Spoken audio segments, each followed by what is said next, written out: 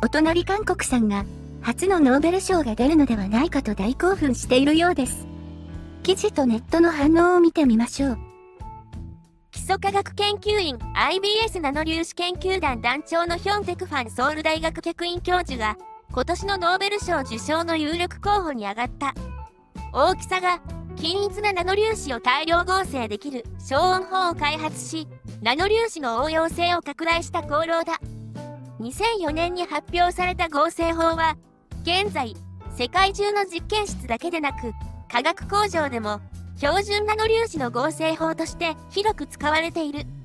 世界的な情報サービス企業、クラリベイトアナリティクスは、23日、物理、科学、生理学、経済学分野でノーベル賞受賞が有力視される世界中の研究者24人を選定し発表した。ヒョン・テクファン教授は、この日、ソウル大教授に任用された当時、米国の博士課程で研究してきた分野ではなく、新しい分野に挑戦してみようと決心し、当時浮上していたナノ科学分野の研究に飛び込むことになったと述べた。研究論文の引用頻度が上位0.01%以内であり、該当分野に革新的貢献をしてきた研究者が毎年選定される。2002年から2019年まで選定された研究者のうち54人が実際にノーベル賞を受賞しており、このうち29人は2年以内にノーベル賞を受賞した。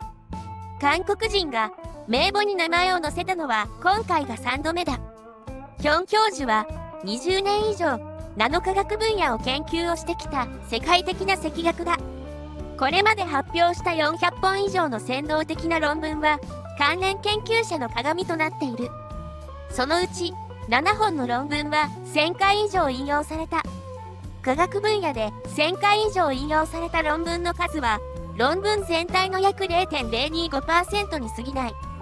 今回の選定にはナノ粒子を均一に合成できる標準合成法の開発関連の成果が重要な根拠となった。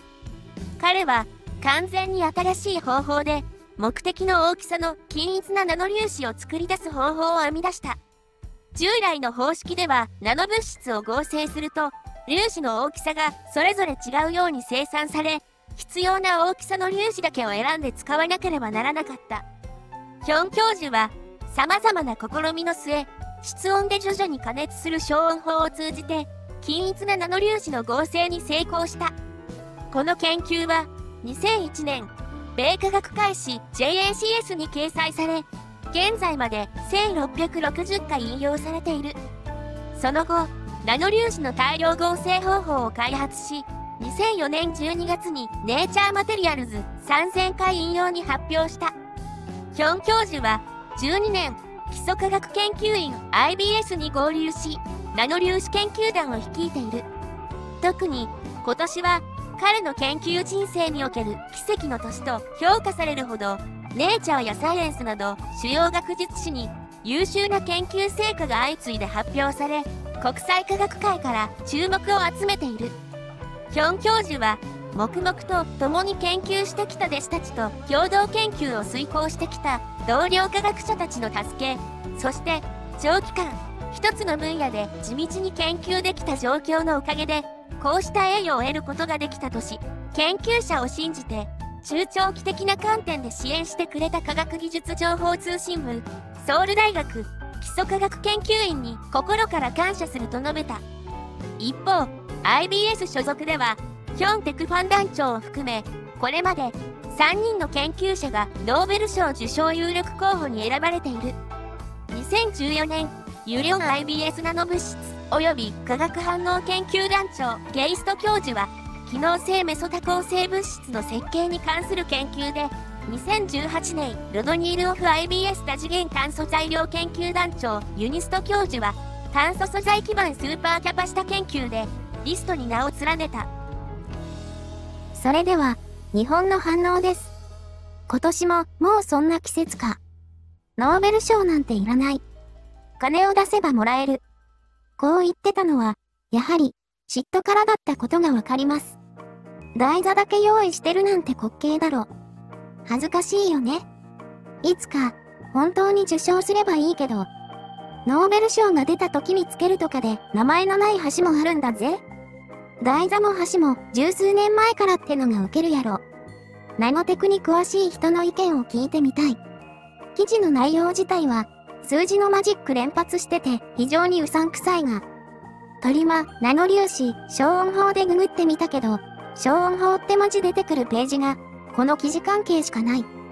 ナノ粒子合成技術は、個装法、エキソン法、基礎法の3種があるとは出てくるが、ついでに、教授の名前ググったら今年だけでなく、どうやら2018年から候補扱いらしいんだが、楽器的発明などからというよりも、論文の提出数や参照数とかで受賞するかも？と、民間の団体が適当に候補に挙げているっぽいんだよな。一応探してみたところ、ウルトララージスケール、シンセシズオブモノジスパールス、ナノクリーストールス、ネイチャーマテリアル、2004が当該の研究のようです。概要しか読めないのですが、研究そのものは優れたものに見えます。私はナノ専門家ではないです。ただ、このヒョン先生が順番待ちの音体の皆様を抜かして受賞する可能性があるのかは、詳しい人でないとわからないと思いました。いや、記事を読むに、あくまで応用研究の分野だから可能性は皆無。ノーベル賞は、基礎研究において画期的発明、発見でしか受賞できない。ただ、県の教授が本スレにあるものとは別に、基礎研究の分野で画期的な成果を上げているのなら可能性はあるが、お金払ってないんで概要しか読めませんが、おそらく記者の知識で理解できるところだけつまんで記事を書いてると思います。研究内容としては、新規の非金属触媒の研究開発のようです。ナノ粒子の研究は、都立大学の春田教授が先駆者。相当に世界から認められている。春田教授のは、金、ゴールドによるナノ粒子の消音法。研究内容が違うのか、詳しいことはわからないのです。専門ではないので、詳しい人教えてください。ノーベルの理念に沿う人類への貢献を判断する記事がないんだよな。ノーベル賞って個人の賞なのに、なんで売りの民族は誇らしいにだってなるのかわからん。同国人が受賞したら、おめでとうだけでいいのに、気持ち悪い奴ら。しかも、まだ決まってすらないのに。自分は日本人が取ったら嬉しいよ。サッカーでワールドカップ決まったりも嬉しいよ。誇りに思うよ。そういうもんじゃないちゃんと自分たちの優位な産業で結果を出せてるのは素晴らしいことだよね。日本も見習った方がいい。いや、嬉しいのメンタルが違う。俺らは同じ日本人が活躍して嬉しいだが、韓国人は韓国人が活躍した自分ら韓国人は優秀にだ。自分は優秀にだ。って変換されるから。さらに、自分は優秀にだ。他の国の人間は自分より劣る。自分と自分ら格上。世界は自分らの言うことを聞くべき。聞かない。後頭部を殴られた。コン。になるので厄介。応用だと、めちゃすごくないと無理じゃないの？ノーベル賞って基礎だよね。受賞してもしなくても、こんなものまで政治利用される韓国すごいよ。ということで、1年が経つのも本当に早いですね。今回は、日本のコメントの方がわかりやすいと思ったので、韓国さんのアホな歓喜コメントは省略させていただきました。まあ、実際に韓国さんがノーベル賞を取ることはないとは思いますが、もし取れたとしたら、アホみたいに舞い上がって、日本を見下し始めるんじゃないでしょうか。それにしても、今回ノーベル賞が取れなかった時は、どうやって日本のせいにしていくのか、そっちの方が気になっちゃいますね。日本のロビー活動でっていうのが一番有力なのかなとは思いますが、韓国さんは思わぬ方向から攻めてくるので、ちょっと予想が難しいです。今回のこの候補の中に、日本人も2人選ばれているようですが、いつも日本と比べたがる韓国さんとしては、珍しく日本の名前を出してこなかったのは、どうしてなんでしょうね。うすうす、ノーベル賞は取れないだろうなと分かっているのか、候補数ですでに負けているから出したくなかっただけなのか、どっちなんでしょうか。まあ、日本のコメントでもいくつか言われていますが、韓国さん？自分でゼロから発明することができず、人の発明を応用することしかできない韓国さんでは、ノーベル賞は無理だと思いますよ。ということで、ご視聴ありがとうございました。